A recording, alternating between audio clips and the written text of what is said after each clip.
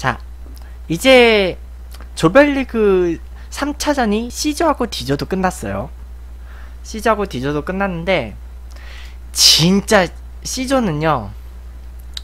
C조는 제가 그 아무래도 제 그 3차전 그 두 경기 동시에 할 때 우선순위가 있어요. 중계 우선순위가 있는데 최우선순위는 당연한 얘기겠지만 대한민국 경기가 최우선이겠죠. 대한민국 경기가 최우선이고 그리고 두 번째 우선순위는 개최국 일정이에요. 그래서 제가 A주에서는 러시아 경기를 중계를 했었고요. 그리고 세 번째 우승 우선순위가 월드컵에서 우승을 한 번 이상 해봤던 그런 named 팀들 있잖아요. 그런 팀들이 우선이에요. 그리고 네 번째 우선순위가 AFC 소속팀, 아시아 그 협회 소속 그쪽이 네 번째 순위예요. 사실 그것 때문에 지금 호주 경기가 약간 제가 프랑스 경기에 약간 밀렸었죠. 음. 하여간 그래서 저는 프랑스하고 프랑스하고 덴마크 경기를 준비를 했는데 야 23시 경기인데 내가 그렇게 졸려 죽겠는 경기는 처음 봤어요. 보통 제가 경기 중계하다가 피곤해서 조금 약간 졸 것 같은 시간대는 보통 이제 새벽 4시 이후 경기 아니면 한 새벽 5시, 6시 한 그쯤 경기거나 아침 경기거나 아니면 그 가끔 제가 메이저리그 그 오전 경기 하다가 제가 너무 피곤해서 그냥 화면은 끄고 제가 그냥 좀 눈은 그 쉬어줄 그럴 경기들이 가끔 있어요. 그런데 그런 경기들이 가끔 있는데 음 하,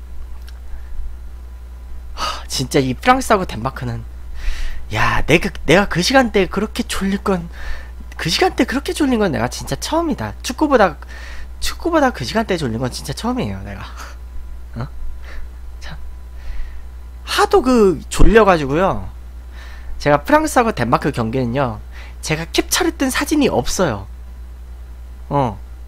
이번 대회 최초로 0대0 경기고, 아니, 0대0 경기더라도 서로 좀 박진감 넘치는 경기를 했으면 그래도 내가 주요 장면, 태클, 이런 거는 캡처를 했겠죠. 하이라이트고 뭐고 없던데? 그래가지고 일단은 프랑스가 애초에 시작부터 포그바 빼고 나왔어요. 시작부터 포그바 안 나왔고 그 젊은 공격수 그 은바페 같은 경우도 한 마지막에 한 15분 20분밖에 안 넣었어요. 그리고 한 시간이 흘러가면서 주축 선수들 체력 안배해준다고 다 뺐어요. 유효슛은 모르겠어요. 제가 이거 한번 통계 한번 들어가 볼게요. 통계. 아, 여기에는 없네요. 아. 여기에 기록은 없네요. 뭐가 딱히. 이거밖에 없고요. 하이라이트가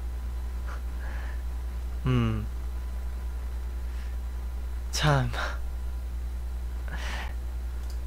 유효슛은 모르겠는데 하여간 그 경기 결과를 굳이 분석하고 싶지도 않을 정도로 참 이 둘이 되게 치사한 경기를 했어요. 오히려 탈락이 확정된 페루는 그 가능성이 남아있던 호주의 발목을 잡아버렸거든요. 니 죽고 나 죽자 이런 식으로. 그래서 오히려 페루가 4위 할 것 같아 이미 2패였던 페루가 호주를 잡아버렸어요. 차라리 그쪽 경기가 더 재밌었을지도 모르겠어요. 아마 감스트님도 내가 보기에는 그 프랑스하고 덴마크 경기 그쪽이 아마 메인이었으니까 그쪽을 중계를 했겠죠. 음, 아마 그 보통 중계 방송은 그 탑시드 국 탑시드 국가가 메인으로 잡혀요. 다른 경기가 서브로 잡히고. 그러니까 그래서 다들 프랑스 경기를 봤을 텐데 졸라게 재미없었을 거예요. 어. 진짜 내가 프랑스 경기 살다 살다 이렇게 재미없는 적을 처음 봤다. 2002년에 프랑스하고 우루과이하고 0대 0으로 비긴 적이 있었는데 그때는 앙리가 퇴장이라도 나왔지. 어? 그때는 참고로 저는 그때 중3이었어요. 그랬었는데 음. 참 그렇게 재미없는 경기는 그렇게 재미없는 경기는 처음 봤고요. 어, 보다가 겨, 경기 보다가 진짜 졸려가지고 참 아마 경기 중계 봤던 분들은 아마 제가 중간 중간에 막 졸려서 막 딴 데 보고 막 그, 그랬던 적이 있을 거예요. 너무 피곤해가지고. 그런데 참 무슨 월드컵이 연습 게임이에요? 세계 피파 피파 연맹에 그 가입돼 있는 그 협회가 200개가 넘는데 거기서 32개 협회만 출전할 수 있는 월드컵을 왜 그렇게 여, 연습 경기 하듯이 하죠? 슛도 응? 슛도 뭐 제대로 하는 둥 마는 둥 응? 골대 앞에까지 가서 슛을 안 쏘고 패스를 해요. 뭔가 그냥 하는 척만 해. 돌파하는 척만 해. 그나마 경기 막판에 은바페만 걔는 이제 젊은 애니까 걔는 이제 존재감 응? 걔는 존재감이 중요한 선수잖아요 은바페는 그래가지고 은바페 혼자만 거의 제대로 뛰어 걔만 응? 걔만 마지막에 막 수비수 몇 명 막 뛰어넘으려고 하고 그런 그런 경기력은 관중들이 거기 한 7만 명 8만 명 있었는데 다 욕했어요 거기서 오죽하면 그 해설진들이 그 헤드셋을 떼보니까 소, 자기들 소리가 안 들렸다고. 음. 참. 욕먹어도 쌀 경기였고요. 음. 그러니까 그 얘기 나왔어요. 이따위 경기 보려고 티켓을 사냐고요. 조별리그 티켓 최소 10만원 넘어요. 하나로 따져도. 10만원 안 넘나? 10만원까지는 오반가? 제일 제일 싼 가격 내는 한 몇만 원 나갈 거예요. 응? 그리고 결승전 올라가면 한 자리가 더, 그 몇만 원 더 올라가요. 그런 응? 더군다나 그 유럽이나 남미권은요. 이 자, 자기 나라 선수들이 월드컵 나가죠? 그러면요 진짜 열성 팬들은요 아예 그 자기네 조가 그 올라갈 수 있는 그 날짜들을 그 아예 다 계산을 하든지 아니면 그냥 1라운드부터 결승전까지 아예 그냥 그 거의 패키지로 다 사, 사서 는 사람들이에요. 그런 사람들은. 어? 우, 우스, 자기네 나라가 우승할 거라고 예상하는 사람들은요, 아예 그냥 패, 그 7경기 패키지를 다 사요. 결승전까지. 그 그래서 약간 그 프레스 카드 형식으로 돼 있어가지고 자기네 나라 해당되는 경기는 딱 들어가는 거야. 그렇게 돈 써가면서 온 사람들인데 그따위 경기를 보여줘요? 참 나도 그 경기를 괜히 중계했나 싶기도 해요. 그래서 결국 이렇게 졸렬하게 끝났고요. 지금 제가 이걸 새로 고침하는 이유는 그 디조 스코어가 좀 업데이트가 약간 늦을 수도 있어서 제가 했는데 업데이트 끝났네요. 음. 차라리 디조가 진짜 이번 조별리그 3차 조별리그 조별리그 3차전 중에 지금 여태까지 제일 박진감 넘쳤던 조는 디조예요. 일단은 그 크로아티아가 먼저 한 골을 넣고 그 다음에 아이슬란드가 따라갔고 크로아티아가 종료 직전에 결승골을 넣었어요. 그리고 아르헨티나도 선제골, 동점골 허용했다가 역시 종료 직전에 결승골을 넣었어요. 어. 그러니까 진짜 디조 경기가 진짜 박진감 넘치고 재밌었어. 그건 나 다 다들 인정할 거예요. 그리고 이제 솔직히 아이슬란드는 떨어질 수도 있고 크로아티아는 이미 거의 확정됐으니까 그리고 어차피 우선순위 중계도 아니었어요. 그래서 제가 어차피 아르헨티나 경기를 꼈는데 아르헨티나하고 나이지리아는 진짜 그 경기 결과 정말 절, 간절했거든요. 아르헨티나는 무조건 이기고 옆 경기 봐야 되고 그리고 나이지리아는 자력으로 올라가려면 이겨야 됐어요. 둘 다 얼마나 간절했겠어 그 경기가. 진짜 그냥 90분 내내 진짜 그냥 죽기 살기로 뛰더라. 응? 지금 제가 이 녹화하는 영상에는 그 경기 영상이 안 올라가겠지만요. 그 진짜 죽기 살기로 뛰더라고. 아니 그래가지고 오늘 제가 사진 보여줄 거는요. 이 아르헨티나 선수들 골 넣은 거밖에 없어요. 그 뭐냐 나이지리아 선수 그 공중제비 세레머니 하는 거 그 제가 캡처하긴 했는데 그 막 완전히 그 제대로 초점이 안 맞춰져 가지고 그거는 그냥 뺐고요. 그래 역시 메시의 메시 딱 그 슛할 때 그 발 닿기 직전이거든요 저게. 역시 메시는 메시였다. 어? 그거 갖다가 지금 그거 갖다 캐스터가 좀 아재 개그를 하긴 했었지만. 그래서 오늘 경기 끝나고 제가 아재 개그 노래 틀었죠. 마마무 노래. 그리고 이게 결승골 자세. 메사죠. 그 결승골 넣는 딱 그 자세.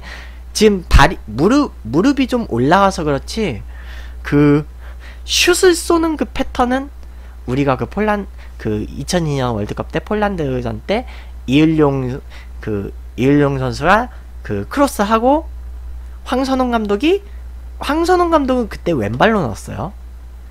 황선홍 감독이 딱 그 받아서 골대로 딱그 쏘는 그 장면이에요. 각도가 좀 달라서 그렇지 딱 그 받아 받아서 쏘는 저 슛이 어렵거든요. 황선홍 감독도 그렇게 슛 황선홍 감독 혹은 그 폴란드전에서 넣었던 게 A매치 통산 50득점째예요. 황선홍 감독은 그 정도의 그 관록이 있었으니까 그렇게 골을 넣었지. 메사 선수? 황선홍 감독만큼 그렇게 관록이 있는 선수는 아니에요, 솔직히. 황선홍 감독은 저런 자세로 그 골렸던 게 A매치 50번째 골이었고. 그때 황선홍 감독은 A매치 98경기째였어요. 음. 그리고 2002년 때 이탈리아전 때 센츄리 클럽 가입했죠. 그렇고 진짜 그 프랑스 덴마크 경기 그 심지어 그 모스크바 경기장이었어요. 그 모스크바 경기장에서 그, 그 관중들 어쩌라고 러시아 홈팬들도 많았을 거예요. 모스크바니까. 러시아 사람들이 그런 경기 보려고 경기장 왔겠냐고. 진짜 생각할수록 내가 화나네. 응? 나도 나, 나름 응? 이 스포츠 전문 기자로서 응? 스포츠 전문 기자로서 교육 BJ 겸 스포츠 전문 BJ로서 내가 화나요 진짜 참 프랑스 16강 가서는 제발 그런 경기 할 수 없을 거예요 지금 프랑스가 그래 놓고 올라갔죠 지금 아르헨티나하고 16강에서 만나요 지금 프랑스 이런 마인드로 경기했으면 16강전에서 죽어요. 아 물론 프랑스는 16강전이 약간 이렇게 될 거를 예상을 했을 수도 있어. 이렇게 될 거 예상하고 아예 포그바를 그냥 한 경기 내내 쉬게 했잖아요. 은바페도 몇 분 아, 뭐, 그냥 몸만 풀려고 내보내고. 어. 은바페는 몸만 풀고 아예 포그바는 출전도 안 하고 포그바 팬 많잖아요. 우리나라 특히 우리나라도 그 맨체스터 유나이티드 맨유 팬들 엄청나게 많은데 맨유의 그 플레이메이커가 그 폴 포그바잖아요. 그 포그바 보려고 다들 그 경기 봤을 텐데 나도 솔직히 포그바 보고 싶었어. 응? 근데 근데 그런 경기에 참 그리고 저 상황에선 지금 점수가 1대1이었는데 결국 크로아티아가 결승골을 넣어서 아이슬란드는 정말 신뢰를 했던 그 1승의 꿈이 사라졌죠. 음. 하여간 그래서 오늘 D조는 두 경기 모두 아주 그냥 그 똥줄 타는 사생결단 그 경기가 끝났고요. 근데 우리나라 국민들은 이 경기를 보면서 느낄 거예요. 오늘 밤에 우리가 저런 상황이거든요. 오늘 밤에 우리가 저런 응? 저런 시츄에이션이에요.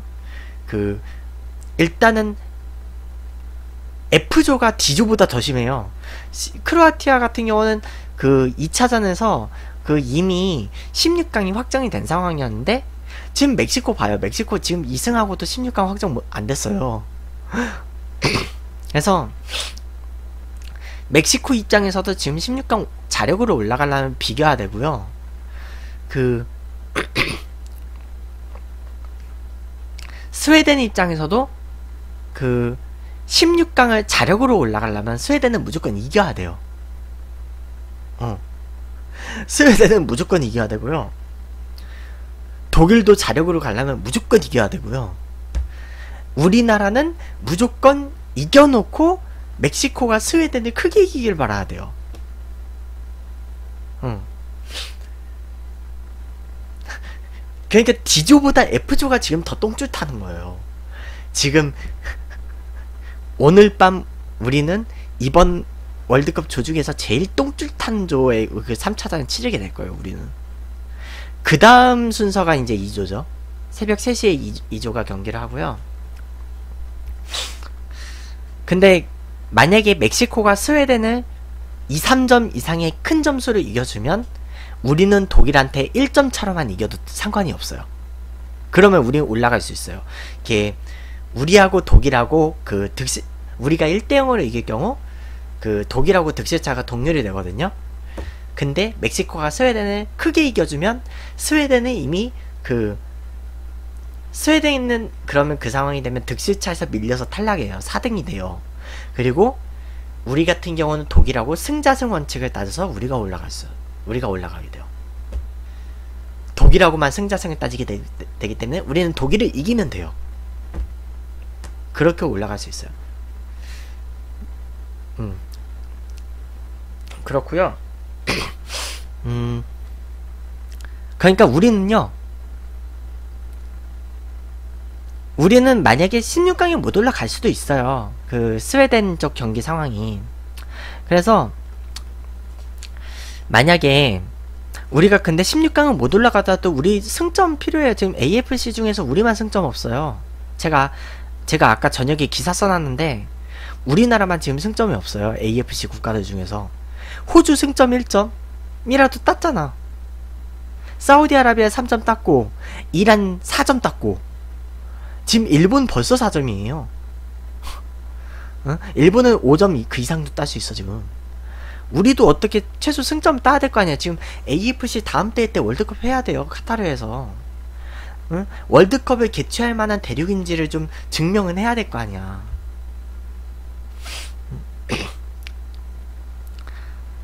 하여간 그렇고 그리고 우리가 만약에 스웨덴이 16강을 가더라도요.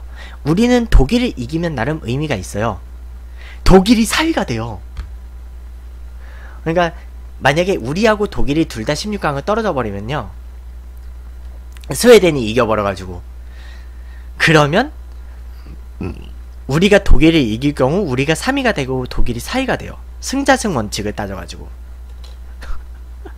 그럴 수 있어, 우리. 독일을 꼴찌로 만들 수 있는 그 키가 우리한테 있어요.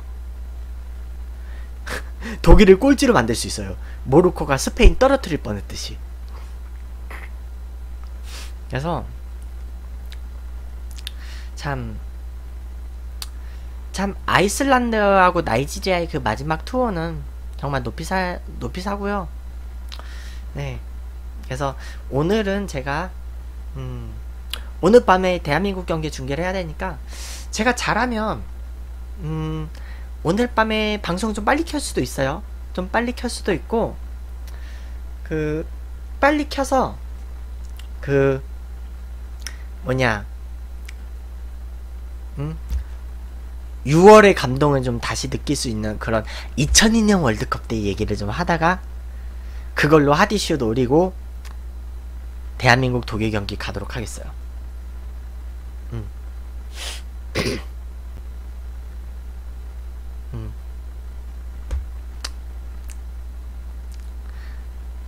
그래서